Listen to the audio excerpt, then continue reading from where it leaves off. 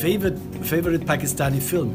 I don't have a particular one, but I um, like to look at these Lollywood, uh, Lollywood films uh, mm-hmm. because uh, this is all about uh, love and dancing and, and so. So I like it very much, and uh, I still, before I leave, would like to see the studios.